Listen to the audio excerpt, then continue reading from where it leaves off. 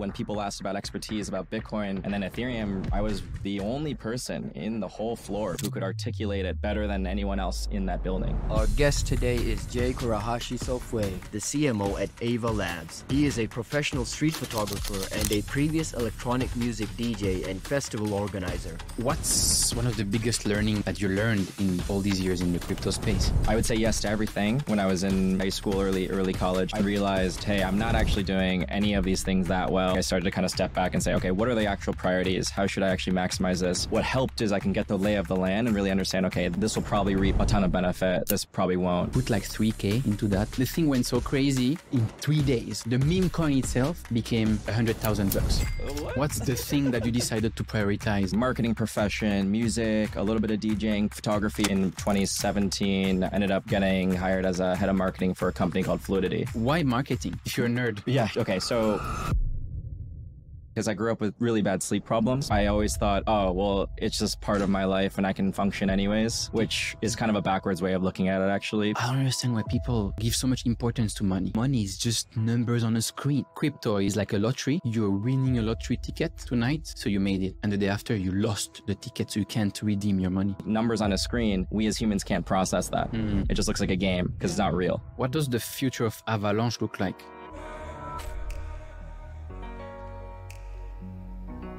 Yeah, seven podcast today, podcast number two. Have to see it as a as an after hour DJ session, which Yeah. reminds me, but that was a long time ago. I was DJing when I was 16 to 21 years old. Now I'm 31.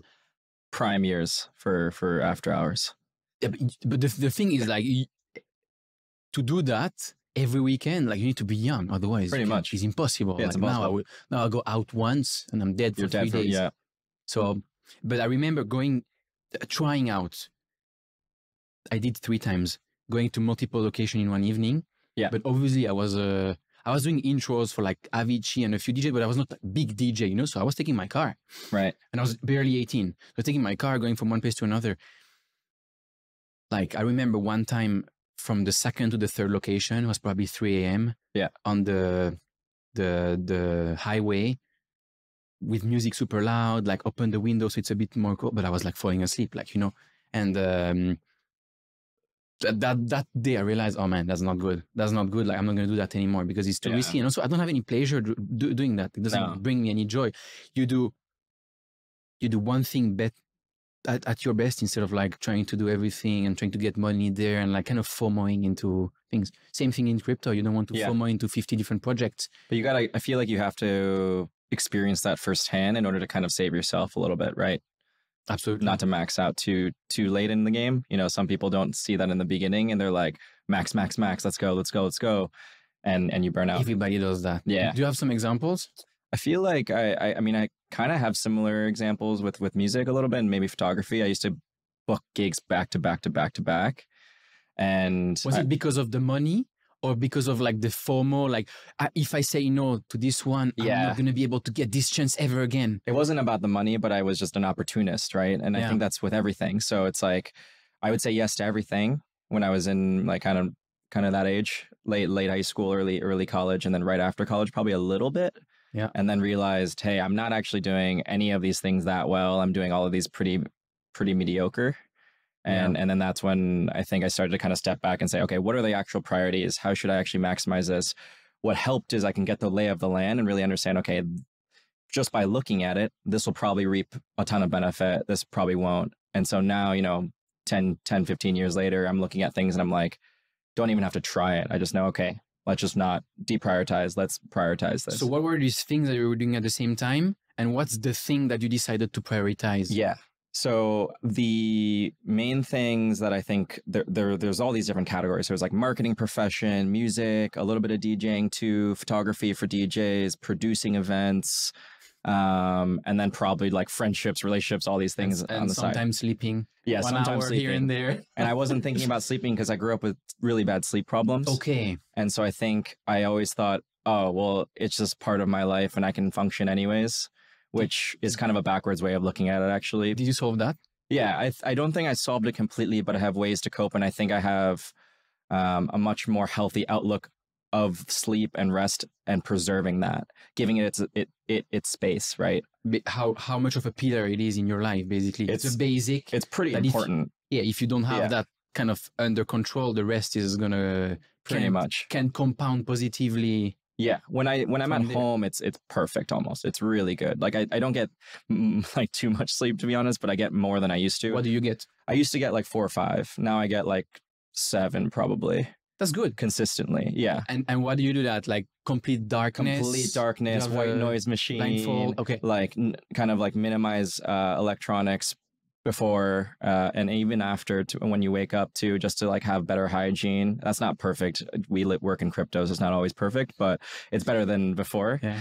Um, I feel like also like I don't drink nearly as much. I'm not a huge drinker Mhm. really, and so kind of like just being very uh, mindful of the hygiene. And and before it was again just like sleep didn't have a pillar. So the way I've now categorized the pillars is I have three focus areas. One is work, right? We have to eat. That's the idea. So work for us or for for me in this case is is marketing and crypto. That's kind of the main thing I'm focusing on right now. And that's is work number one or is sleep number one?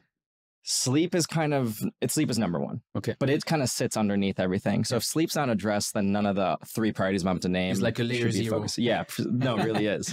And then the second piece is creativity because I've realized I am super type A and I like that uh, kind of more left brain focus, but I also need kind of the creative focus as well. For happiness? Yeah, Like just for, To fulfillment. feel happy and uh, Yeah. okay. So that's kind of uh, for the last three, four years of photography. And I kind of deprioritized music because you can't do music and photography both well. Mm. Music has a much steeper learning curve, in my opinion. Photography is still insanely steep, but at least I found a lot more success there. And I'm, I was like, okay, let's just focus on that and and continue to go level two, level three, level 4 Mhm. And then the last focus is really, well, I'm extroverted, so I realized where I get energies from people, and so intimate relationships, uh, just friendly, platonic relationships, professional relationships, kind of get all get bucketed in there Mm. and it's kind of a push and pull, right? So if work is really intense, then I got to be really mindful of pulling back down on the other two because it's all pulling from the 100% pool. Mhm. And so if I'm pulling again like full stops, which I have done before, then the layer 0 gets totally screwed. And and same with the reverse is true. So like even the last few years, I've been much more focused on crypto. I've kind of started to try to buy back that time a little bit more. But even in that 2 or 3 year stint, I was thinking to myself, okay, this is short term. That's okay. I'm going to make that sacrifice and maybe the creativity or the relationships thing will kind of take a second second seat but um, I know it's short term, and, and that's where I, am a little bit more healthy about it. If it's not short term, then that's a problem because then I'm not balancing my life properly, I think. Thank God we have these uh, cycles, bull market, bear market, Yeah. where we're kind of forced to get back to a normal life because the bear market is boring as fuck and depressing. So you need to find happiness and the dopamine, the healthy dopamine and endorphins from other things than crypto. Right. Well, that's kind of why the balance is important. And I think it's worked so well. Like I've I've kind of stuck to the system for the last five to seven years, not too long, but long enough. Before that, it was great. But again, I saw like things deteriorating my health or whatever it may Mm. be. Not in like extreme ways, but ways where I was like, okay, I'm not happy with this outcome at all. Let's figure out how to fix it. And at the end, it's always a priorities issue. Right. And so now moving forward, next five years, I might be looking at, okay, maybe I want to focus more on a creative endeavor. So I want to juice that up a little bit more. Um, maybe because of the bull, the bear market too, it might make sense to focus on that a little more. While I also still focus on crypto and marketing, of course, but find ways to kind of balance. And maybe you can also kind of cheat your way to balance that a little bit by asking for help, getting more resources. And so I think there's ways around it, but it's still again very very straightforward of there's a whole pie you kind of have to take down from that and if you try and seek more that's when you're going to start to stumble So you said you had all these different uh, priorities at once, which was way too much. And then you said, I'm going to focus on work. I mean, obviously sleep, work, creativity, but the creativity will be more photography than music. Yeah. Right. So now it's mostly photography. I mean, sleep, photography, work. And work is Yeah. crypto. essentially essentially i've i've kind of even let a little bit less of a focus on um, photography these days and then kind of pushed more on some of the side endeavors that are part of work a little bit but not really you know it's kind of this own pillar of like doesn't pay the bills but could and still kind of early ideation For example. um, so i've been really interested in this idea of opening up a music venue in, in new york Oh, nice. and I think you would relate to that. uh, But I want to do it properly, and I want to do it where the loose theme that I've kind of been talking about is I don't want capitalistic uh, pressures to have to force this environment, this experience in a way, uh, in, in the direction that most New York venues kind of steer towards, just by by kind of the essential uh, economics of the whole thing, right? Especially in the creative industry, you can feel it directly. Yeah. If the priority is great, obviously the thing needs to be profitable Exactly. at some point, but you can feel if the place has like culture and where the the the the, the key spot is for creativity and culture and music in this Yeah. case, or if it's a money making machine. Mhm. You can feel it as a customer directly. Exactly. And I feel like to start, I don't really care for the money making machine side, which is an amazing place to be. Yeah. Um, but there has to be other mechanics to kind of keep that culture alive because at the end of the day, success kind of brings on that capitalistic pressure and it's hard to sometimes kind of push it away. And that's where I- I think you kind of have to make a common purpose for the people that are attending. And eventually, I think it'll, the rest will follow, is, is what Mhm. I'd like to think at least. Maybe I'm simplifying it too much, but. What would this place look like? This venue? Would it be like concerts? Would it be DJ? Would it be electronic music? Because I know you love electronic music. Would it be Yeah. a variety of different type of music? So far, pretty open. I think it'll probably stick to underground electronic for now, just to Mm. give it that space. Um, I, I really take a page out of the Berlin night scene. They do an incredible job. Think about you show up to any club in Berlin, you pay 10 euros max, and that's always what it is. And there's still a five hour line. In New York City, there's a five hour line because no one can afford the $5,000 tables. It's a Mm, two different outcome, two different very, Yeah. very unique outcomes, right? One is again driven by money, and the other is dr- driven by culture, by FOMO.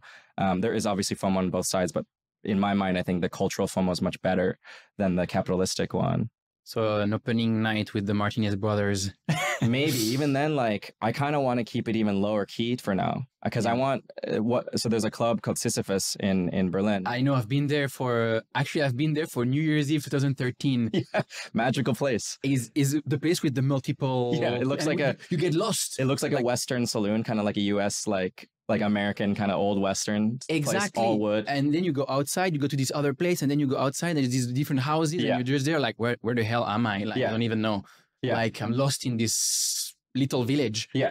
And and and DJs will take bookings like a thousand dollar, two thousand dollars, or one thousand euro, two thousand euro booking fees, or sometimes they pr- play free because it's such a Really? coveted place to be. Like the big DJs, they go there, and Yeah. almost that's amazing. And then okay. and then also think about the attendance when you show up. You have no idea who's playing. You just know, hey, I want to be at it's Sisyphos gonna be amazing, yeah. or whatever else. Other clubs in the in, in Berlin have this too, but this It's is one the branding of the club versus Yeah. the branding of the DJ or the artist coming there. exactly. And if you create a safe space, a create uh, an environment that I think the core community people or the core evangelists want to be a part of, then it gets protected. And then all of a sudden it's like, eh, there's this snobbiness to it, of course, right? Cultural snobbiness, which I'm kind of playing into, but hopefully it doesn't get too carried away. That's the whole idea. So I think experientially, it is open for anyone who doesn't necessarily like underground music because I think that's a little bit prohibitive. You know, not everyone wants to do like 125, 130 BPM with no lyrics and whatever Mm. So there's there's a space in New York called Public Records. They're they actually do an incredible job. Uh, it's kind of the similar model where there's a musician involved in the partnership. There's like a uh, kind of a, a capitalist involved as well. There's also a bunch of cultural advocates involved. There's all these different types of people, and so it's welcoming to the everyday. But if you want to go to the back room, which has like a four point sound system, incredible sound system, all the su- super intense music heads will also find a home. So you can kind of step in, step out. And so when I go there, I go, I can bring my friends who have never listened to techno ever, maybe, and they might also find it interesting and not super overwhelming. But it also, I can bring some of my, you know, super club head friends, and they'll also have a great time. And so I feel like that inclusivity, it's like 300 person cap. Uh, capacity, not too big, super intimate. That has a lot of legs. The minute you open it up and you go, okay, we're gonna pump 30 Absolutely. 40 dollar tickets, it's over. Yeah. So kind of that balance. so sort of letting down a bit the electronic side creative i mean electronic music side to go to photography to now going back to music. Yeah, kind of yeah. And the entire time it's like i can you know I, i'm i feel like i i'm mean it's all linked also. Yeah exactly you can you can you can i mean obviously like all these events you want to show them somewhere and like Yeah. the better you are at production and photography Yeah. Like actually today, photography and production and this type of stuff is like the, the, the new way to market things. Exactly. So I can, from the photography side, I have much more empathy with the designers, the creative directors. I can work with them much more closely. Mhm. I always come to the table and say, "Hey, I'm an I'm a fellow artist as well. I understand this, and so I'm not going to be that helicopter marketing leader who is saying, "Hey, this has to be like this. This has to be like this." We can make it more of a collaboration. On the other hand, on the music side, we've been producing a lot of events for Avalanche. Basically, all the past contacts I've made in the music in my music life have kind of come back, and we're, I'm gonna go up to them and say, "Hey, by the way, we're doing an event in Korea. We're doing an event in Barcelona. Do you want to play it?" And they come to me and say, "Oh, interesting, crypto event. We, you want like an underground DJ?" I'm like, Yeah. "Yeah." Now here's why, and then kind of that's where the stage. And then you can link smartly, which we've done already because one of your friends is Blondish. So you can link. You can say, okay, come play at my event. Right. But then you can say, hey, you're an artist. There's this NFT stuff that's gonna be something big. And hey, here's a way you could you could leverage NFTs or crypto. Yeah. You think you're just coming to play here, but I'm gonna explain you how crypto can help you in your artistic career. Yeah. Can you give an example with, for example, Blondish or other people you know that you basically matched with blockchain to try to do something that's better for them, their brand, and their community? Yeah. So funny enough, Viv is like super into crypto. So that was less about like me saying, "Hey, this is something interesting. You should t- check it out." She was already already like at an ins- insane expert level, which is Mhm. why I think we we kind of have meshed pretty well over the last few years. There are a few other artists. Um, I would I would say it's less about like, "Hey, this is the new thing," but it's more like. Hey, this is what we're working on, and here's why Avalanche might be better than the use cases that you've seen. And Mhm. and also instead of saying, "Hey, this is the solution for you," it's more like, "This is potentially the solution for you."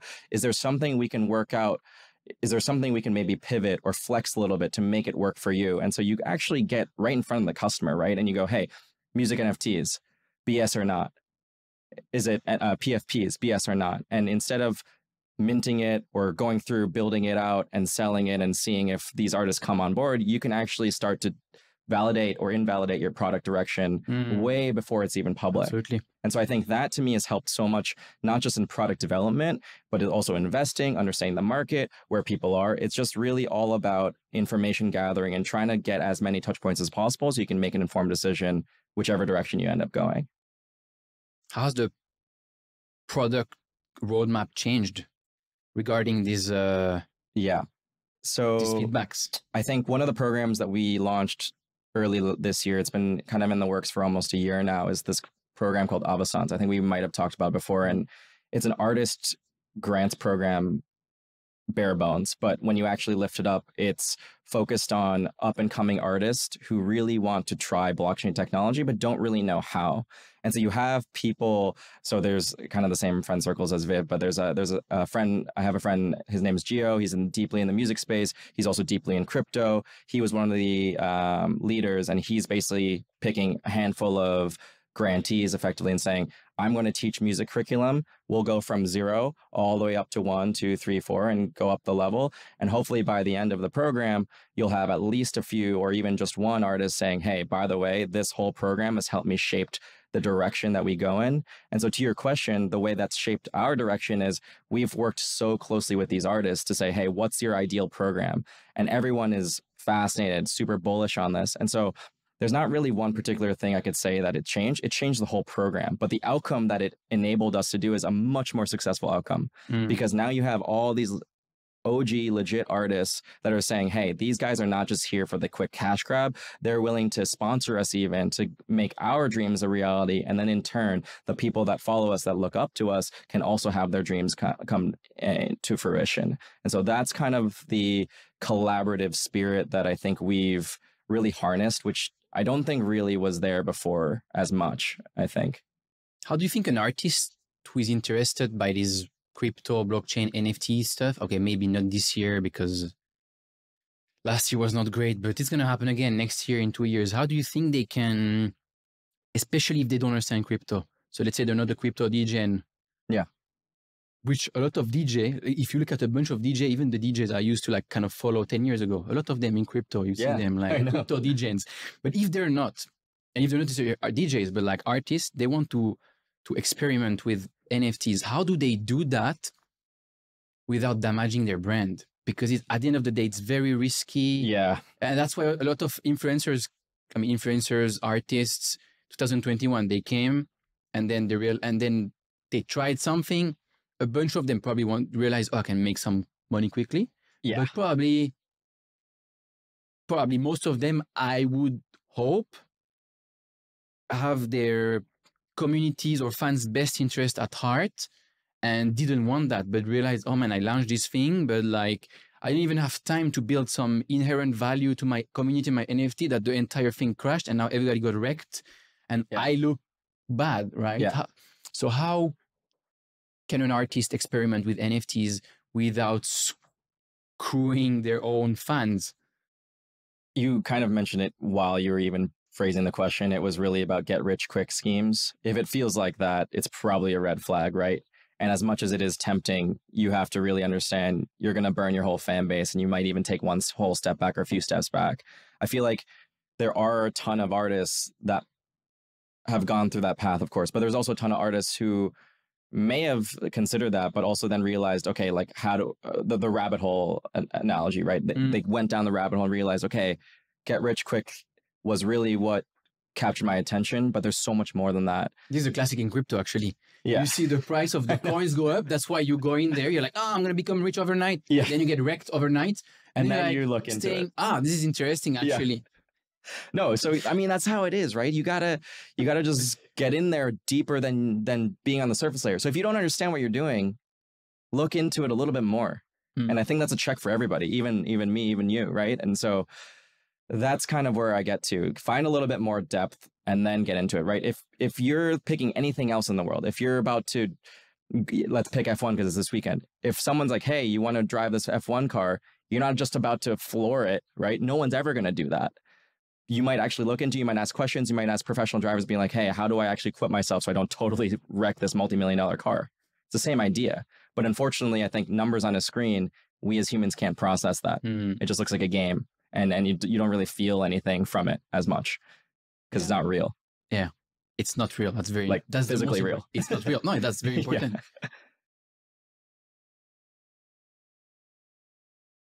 I forgot what I wanted to say. Um, I mean, regarding the it's not real, like I, I remember 2022 before Luna crash.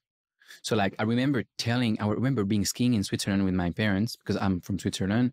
I would go there, you know, living the life because everything was up like crazy since two years. And I remember telling my dad, man, dad, I don't understand why people are so give so much importance to money. And he's like, What are you talking about? And I'm like, Yeah, because at the end of the day, money is just numbers on a screen, right? It's stupid. It doesn't make sense Mhm. because it's just, oh, I'm, I, I have more benefits in life and I'm more important and I'm more powerful because I have more number. I have one additional, 10 additional zero on, on a screen. It's Yeah. nonsense. Yeah. And, and then you, to, to think about money printing, the fact that banks can also basically print, it makes no sense. True. But you were saying to me, Kevin, like you're basically completely disconnected to reality. This money, these numbers represent something in reality. Like Mhm. with a certain amount, with 10 bucks, you can buy a pizza. Yeah. With a hundred bucks, you can buy 10 pizza. And that's the problem, the thing I hadn't realized. I was like, I was like, yeah, no, no, I still don't understand. It doesn't make sense, etc. Then, because as you said before, these numbers are not in crypto. They're not real because they can, they can. Uh, I had a guest the other day, and he was telling me crypto is been in crypto also like you since 2013, or I think maybe you've been even before. We talk about that later. And uh, he was telling me crypto is the best analogy is is like a lottery. You're winning a lottery ticket tonight, so you made it, and the day after you lost the ticket, so you can't redeem your money. Yeah. Basically, and I was Pretty like, "Oh man, that's how not real it is," you know. Yeah. So it's a, he's the guy who is co-founder of GSR, Okay, and cool. uh, uh, so Yeah. he's called Alexi. And um, yeah, anyway, so like a very good analogy.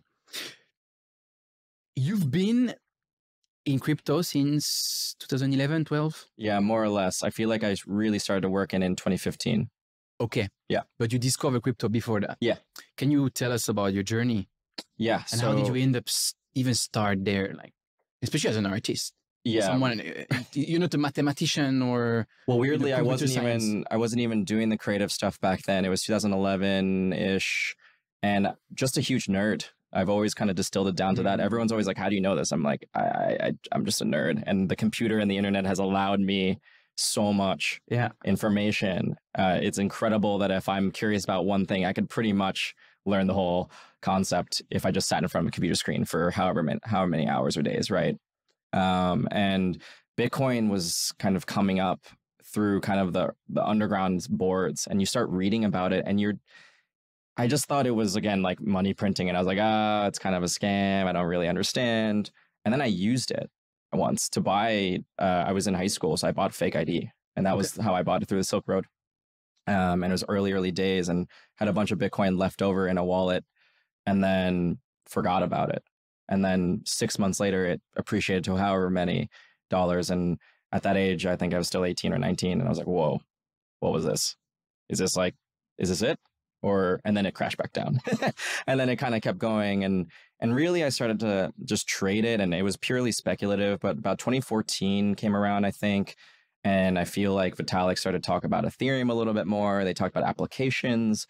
And to me, Bitcoin didn't make any sense because I didn't have a traditional finance background at all, of course, at that age. Um, but applications made much more sense. I think kind of the nerdiness and also just growing up in the digital age of internet, mobile, all these applications, and just the simple narrative of let's remove the inefficiencies of the middleman, right?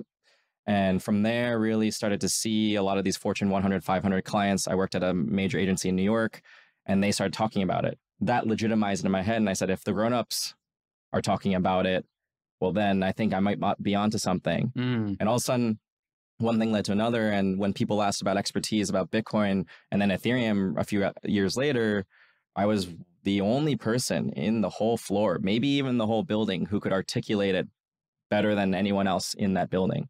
And that to me was even a bigger signal and kind of chased that. And I was in a marketing function um, and then was at the agency and kind of worked on a little bit of blockchain and crypto uh, marketing there.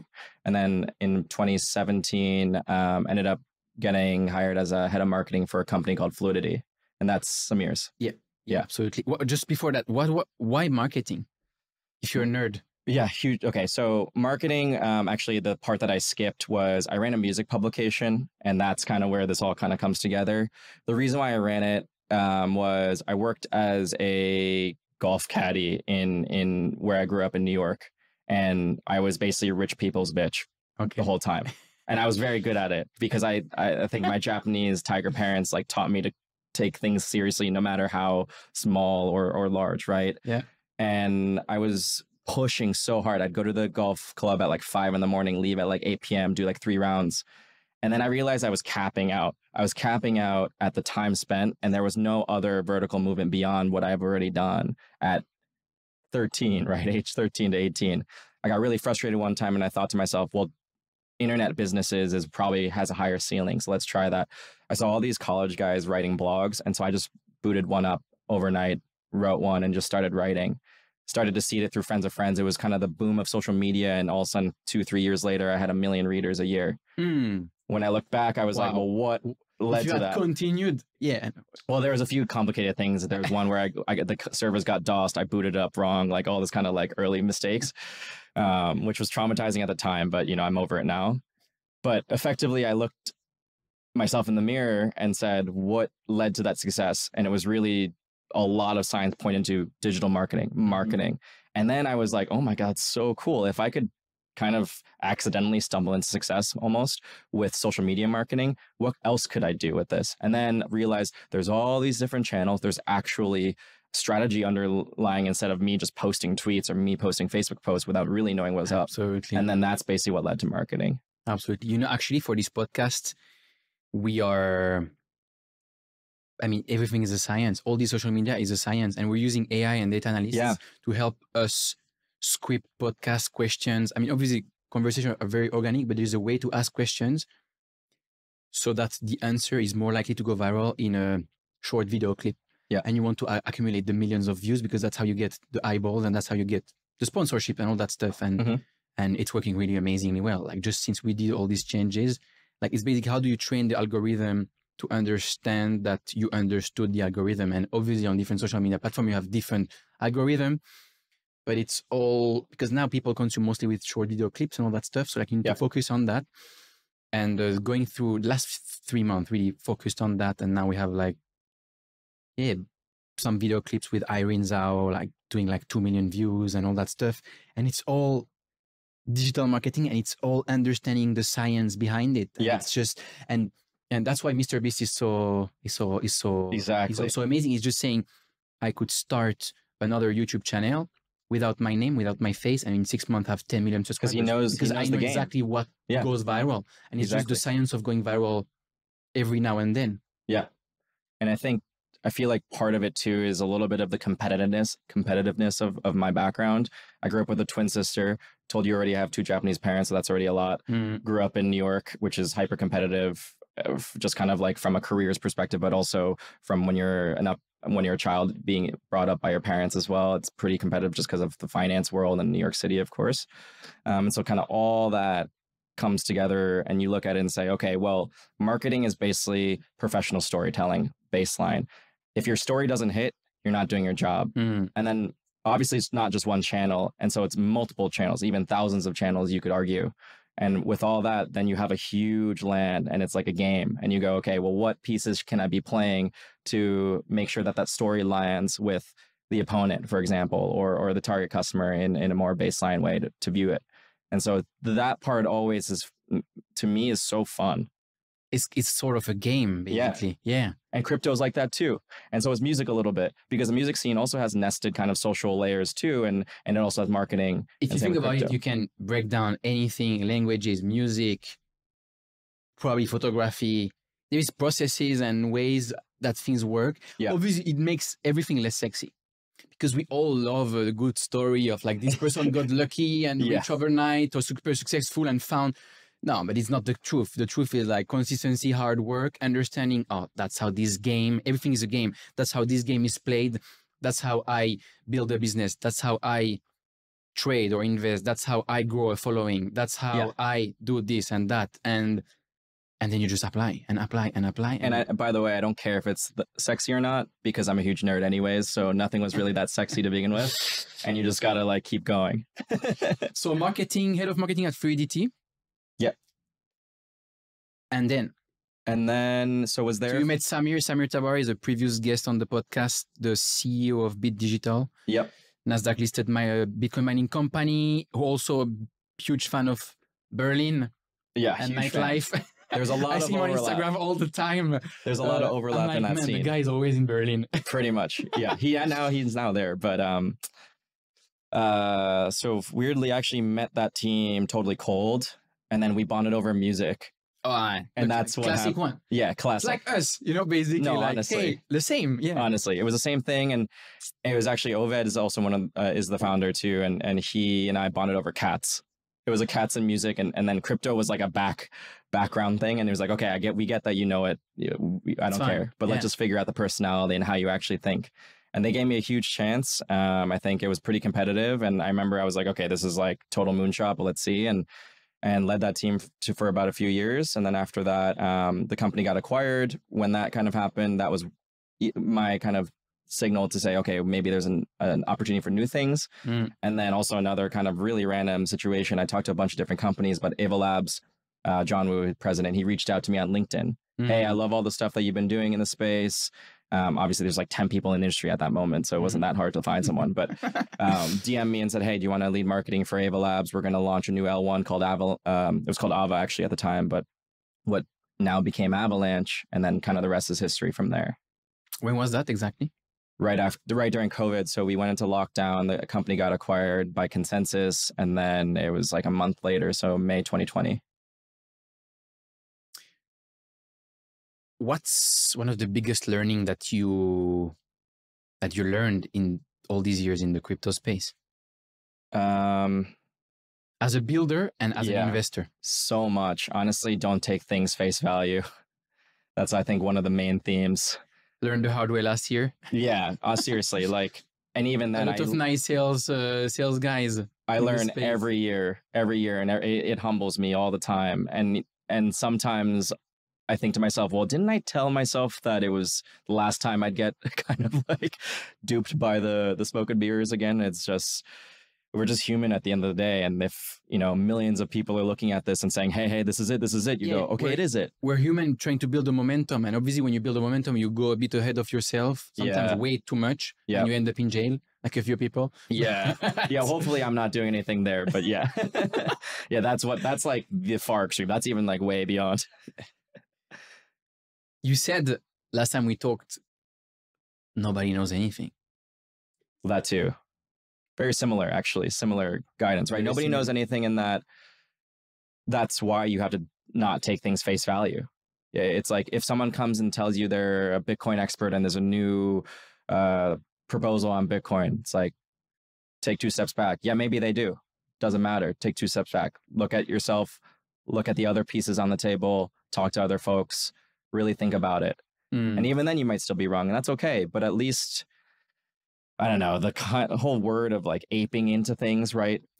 Let's not do that. do you want to define that for people who don't know what it Yeah. means Well, Aping I don't even know if. I'm like the the Webster's Dictionary of crypto at this point, but aping seems to have come out of just the crazy kind of dopamine chasing behavior that everyone in or the OGs in crypto have, or everyone in crypto seems to have, especially in a bull market. And so, like a chimp or an ape would, you just kind of like without thinking do that thing, Mm. and and you just ape into it, and that's kind of the so you see something terminology. you see something that's starting to rise you just jump into it buy it close your eyes hope for the best and often get wrecked pretty much. even if the thing does 100x then you're gonna hold it because it's- it could until it could of course down. do a thousand x. Yeah, exactly.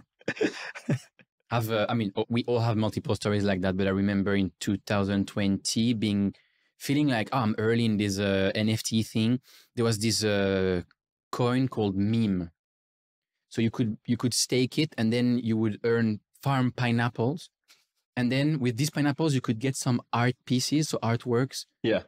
So buy them with pineapples from like really cool artists, you know, and then you could either keep them if you like them, or you could resell them. And in the beginning of this kind of game, like you could, it was because you, you- there was only, for example, if the drop would be random, they, Right. would, they would tell you only on Twitter, we're dropping now the new thing. So you would always be like that, like waiting for it, and then you'd have maybe ten pieces. So obviously, would within a few minutes it would be gone, or a few seconds at some Yeah. point, and then you could literally sell these for like one, two, three ETH, which ETH was probably 500 bucks. You could like basically get 1.5K by staking this meme coin, which was literally called meme, getting this pineapple, and then getting this card and selling it, right?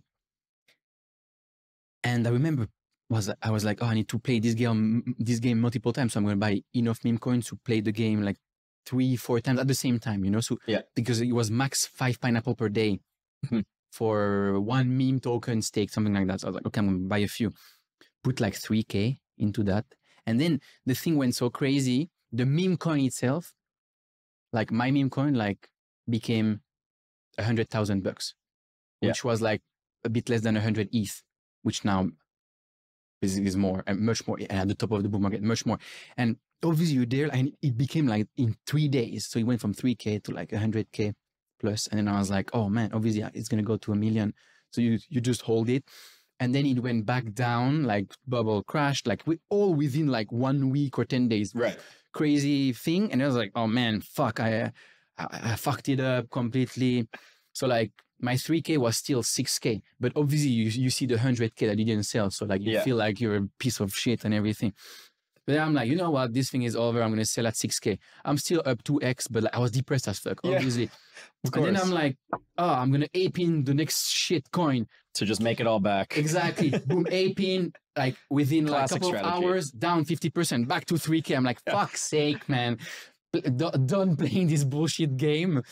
And um, I mean, a classic one and uh, an example of aping in. Um, But isn't that and funny? then and then and then this meme coin two months later went back up, but like much more. Obviously. But isn't it funny? Like that whole story that you just told, I tracked every single step of it. Tell that to anybody outside this room, anybody. They'd be like, so the how does the pineapple work here? Nonsense. There's pineapple? Nonsense. You- yeah, yeah. Uh, what? and this is probably like the middle of the road, like not even that bad of a reference. It's probably way. no, worse. it's not bad. Yeah. It's- yeah, yeah, yeah, yeah. exactly right. It was after the the food uh, Yeah. DeFi summer. Yeah, that yeah. Ended up uh, after, but like like kind of like obviously NFTs exist since earlier than that, but like kind Yeah. of mainstream NFT stuff. Well, Like- DeFi summer was the sushi like drama. exactly. It's like high school. Another another learning is like this all reminds me of high school. As long as you can uh, templatize the industry to high school, you're gonna be good. You're gonna navigate it pretty well. Don't get too like you know cocky and and have a target on your back, but also understand their clicks. Their clicks everywhere, and and there's certain tribes that you want to be part of, and you don't want to be part of. At the end of the day, like in high school, things are really petty and kind of childish. So Mm. also understand that, right? And everyone's always like, "Yeah, it's totally like high school." and understand that most of it is manipulated. So even on social media, you have all these Yeah, likes and things like everything is bought. You have all these bots. right, right. so it's like, not even can be- real. Yeah. you, you you can actually be. uh, That's how they build momentum again, like into a project. Yeah. And that meta layer, right? There's the in-person uh, kind of relationship building, but there's also the online, and the online is also like you signal certain things. You you you you're not necessarily your authentic self, right? Mhm. There's so many things I do on Twitter that I would never do in person if we were it face to face. Like like it's like I don't do that, right? But in in in Twitter, you can actually signal socially and say, hey, like maybe it's a soft endorsement. That gets a little tricky too, especially with financial uh, instruments. What does the future of Avalanche look like? Right now, we are coming on a pretty intense few weeks. We just came from Korea. So we uh, had the second biggest event in Korea, second to KBW's actual conference. Mhm. We had um, over a, th- a thousand people show up. We had a little over 2,000 people registered. It was obviously a side event situation. So there's obviously a little bit of drop off. We're focused on a few things. I think the three primary things would be enterprises, Ava Cloud, which I'll get into in a second, and also Avasant, which is that artist program. So really focus on NFT artists.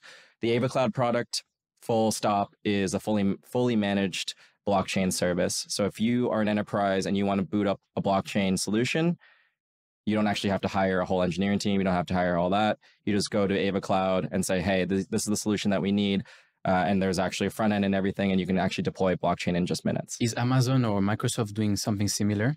Yeah, so Amazon does this, but they only support, I believe, Ethereum on the smart contract side, and I think they also support. Uh, I forgot one other chain. I can't remember which one, but Ethereum's one of them. And so I think they're taking a different approach right now. Ava Cloud would be mu- multi-chain. No, we would focus on Avalanche under the hood, but the thesis is that we have such a performance stack of tooling that it's just better than what's out there. Mm. Plus, I think the other interesting advantage is the team that's building AvaCloud also is building the Avalanche protocol. And so instead of a third party managed service, like AWS is a good example, and not saying anything negative about those, those guys, but if they're building something for Ethereum, they they are second to the Ethereum Foundation. The Mhm. Ethereum Foundation and the core devs know exactly what's going on, and then they have to kind of react. We can kind of do one and the same much more quickly. So we might not see the benefits of it now per se, but I would say I think it's going to uh, really be evident as we continue to validate the product, um, and and the product should be going live very soon. Amazing. Thank you for doing this, man. Yeah, That was awesome. in person. Thanks for having me. Thank you.